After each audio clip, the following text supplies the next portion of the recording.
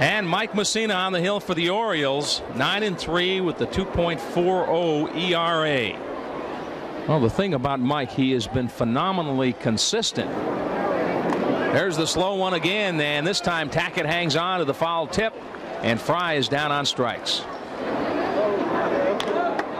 Fly ball left field, Brady right there. And Mike Mussina takes care of business just like he did in the All Star game.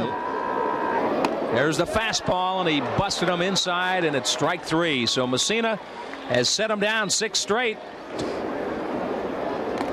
He just gets it done, and there's his third strikeout of the night.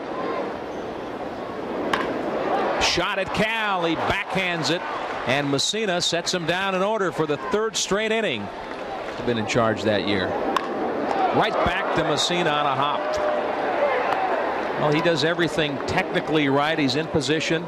See what he does with him now. One ball, one strike.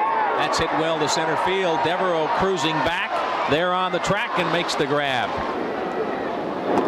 Threw the fastball by him, and Gonzalez is down. And that's Rip. First hit night in the corner. Sierra headed for third. Here comes the play at second. And Reimer's in with a stand-up double. No doubt about that one. The only question was, would it be fair as Reimer ripped it down the right field line. They played a little more. And, and he got him on that? the change. Yeah, he did. So Mike Mussina got into a corner, but he come comes right back toward right a little. And he's out of there looking. But he has. There's a change for a strike. Strikeout number seven for Mike Mussina. And the outfielder pitcher for Mississippi State. Got him on the change.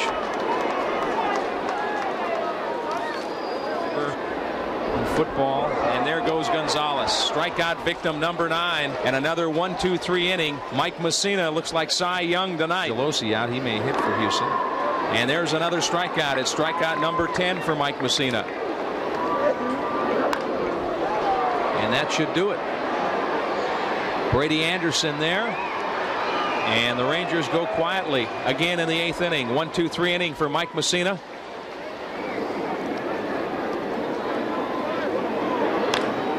Little looper Bill Ripken's going to handle it. And the Orioles start heading to the mound to shake the hand of Mike Mussina.